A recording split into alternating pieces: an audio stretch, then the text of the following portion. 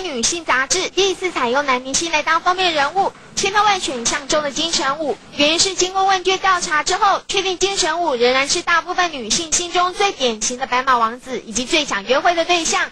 魅力无敌的金城武地位仍未被取代。在这一次拍照中，金城武展现时尚都会男子的造型，大致符合他原本的形象。另外，有一段时间未公开露面的金城武也接受该女性杂志的专访，畅谈内心世界，诉说他的导演梦。许多女性也好奇金城武结婚之后会是怎样呢？金城武则表示自己婚后一定是个顾家的好男人，会帮忙煮饭、打扫、带小孩。听他这么一番回答，想必有更多女孩子喜欢他了。李君华是跟整理报道。在俊男帅哥纷纷出头的时候，当然不能忽视帅哥至尊金城武。全球 Vogue 百年来破天荒中文版中首次以男性做封面，不假第二人想赴日本捕捉金城武迷人的风采。